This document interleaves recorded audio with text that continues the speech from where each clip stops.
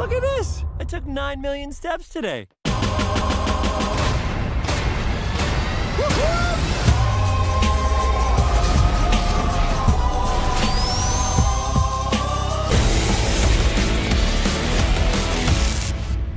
So, you're supposed to be Tom's best friend that he won't shut up about. Well, I don't see the appeal. That is very gross. Face it, you're never going to get my power.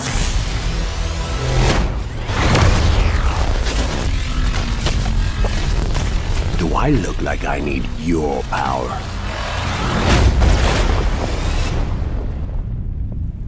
Where are my manners? Sonic, meet Knuckles.